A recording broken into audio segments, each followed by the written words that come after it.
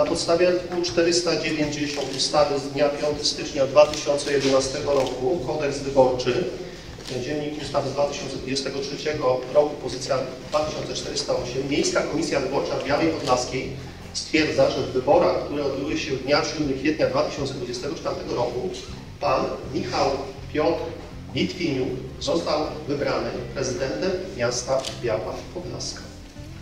Panie prezydencie, serdecznie gratuluję i życzę owocnej, jak najlepszej pracy na rzecz naszego miasta Białej Podlaskiej. Podobnie jeszcze raz Państwu radnym życzę owocnej, jak najlepszej pracy na rzecz naszego miasta.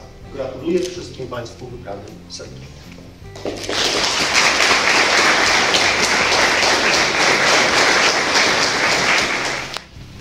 W pierwszych słowach chciałbym jeszcze raz serdecznie podziękować wszystkim mieszkańcom Białej Podlaskiej, którzy wzięli udział w wyborach samorządowych, którzy wykazali tę obywatelską determinację do gospodarskiego brania naszego wspólnego losu we własne ręce. Bardzo serdecznie gratuluję wybranym Państwu radnym. Staliście się w ten sposób powiernikami ogromnego społecznego zaufania i ufam z wielką wiarą, wypowiadając te słowa u progu nowej kadencji, że potrafimy wspólnie stworzyć forum bardzo dobrej współpracy tych dwóch wiodących organów miejskiego samorządu, prezydenta miasta jako organu wykonawczego i Rady, Rady Miasta jako organu stanowiącego, by zapewnić Białej Podlaskiej kontynuację dynamicznego i zrównoważonego rozwoju. Wszystkim mieszkańcom Białej Podlaskiej, którzy obdarzyli mnie ponownie zaufaniem i radnych Komitetu Wyborczego Wyborców, prezydent Michał Litwinuk, chcę w sposób szczególny podziękować za tak silnie i jednoznacznie wyrażone poparcie. To ogromna siła takiego demokratycznego mandatu, zwycięstwo w wyborach na prezydenta miasta w pierwszej turze i uzyskanie przez nasz komitet wyborczy samodzielnej większości w Radzie Miasta, bardzo zaszczytne i wyróżniające, ale jednocześnie stanowiące dla nas ogromne zobowiązanie.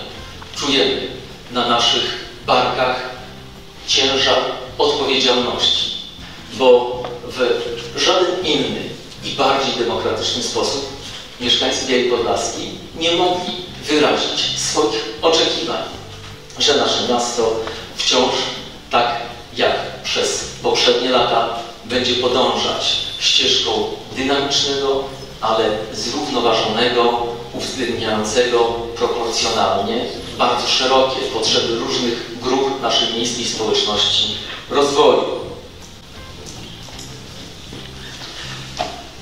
Ten werdykt wyborców poczytuję także jako docenienie tych ostatnich pięciu lat naszego wspólnego wysiłku. Z dumą podkreślamy, że to do dnia dzisiejszego już 300 kilkadziesiąt milionów złotych nakładów inwestycyjnych na rozwój Białej Podlaskiej. Kilka bardzo prestiżowych wyróżnień w ogólnopolskich wiodących rankingach. Między innymi za dynamikę rozwoju naszego miasta, za rekordowy, wyróżniający nas, nas na tle kraju poziom realizowanych inwestycji, czy także za najoszczędniejszy, jeśli chodzi o koszty utrzymania prezydenta i jego administracji, samorząd. Ostatnich pięć lat to także ciągła praca nad tym, byśmy w nowy okres pięcioletniej rozpoczynającej się dziś kadencji weszli ze stabilnym i zrównoważonym budżetem, troska o który daje nam dzisiaj ogromny komfort patrzenia na przyszły rozwój Białej z optymizmem, bo zapewniliśmy naszemu miastu to najważniejsze narzędzie kształtowania trwałego, przewidywalnego i zrównoważonego rozwoju. Tak, wyzwanie niesamowite, które stoi przed nami.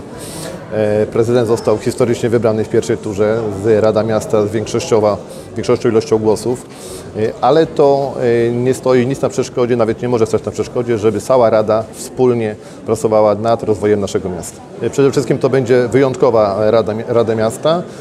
Mam mm, wiele planów na temat organizacji prasy tej Rady. Będę się spotykał zdecydowanie częściej z przedstawicielami poszczególnych e, klubów e, Rady Miasta, ale też z radnymi niezrzeszonymi, bo, bo takie osoby też są w tej Radzie.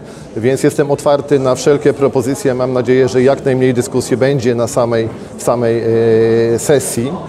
Wiele dyskusji będzie się odbywało na komisjach, ale też jeszcze przed tymi komisjami e, plany. E, Mam nadzieję, że przede wszystkim e, powiem, że e, trzeba ograniczyć tą biurokrację, którą mamy. Te niszczenie tych kartek, jeśli chodzi o Radę Miasta, to było utropienie, utrapienie, niszczenie tych wszystkich e, e, rys papieru. e, Wprowadzimy możliwość, oczywiście kto będzie chciał mieć wersję papierową, ten będzie miał, natomiast we- wersję elektroniczną jak najbardziej. Myślę, że to jest taka pierwsza z takich decyzji bardzo naturalnych i, i oczekiwanych. Zdecydowanie myślę, że będzie to wyjątkowa kadencja i nasza współpraca z panem prezydentem, ale przede wszystkim z urzędnikami miasta, jak i całą ra, Radą zrobi ten taki jeszcze mocniejszy